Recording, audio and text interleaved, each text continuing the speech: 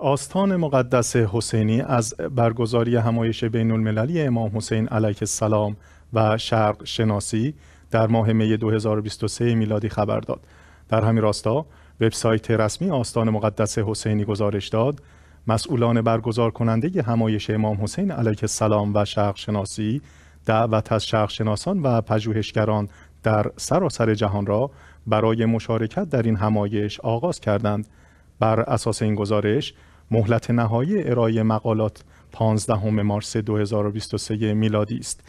گفتنی است این همایش از 12 تا 13 می 2023 میلادی در حرم امام حسین علیه السلام برگزار خواهد شد.